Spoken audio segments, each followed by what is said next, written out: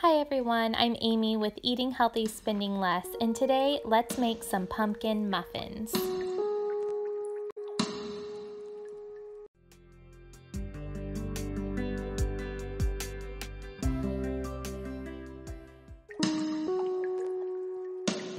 Oats are the perfect base for this recipe.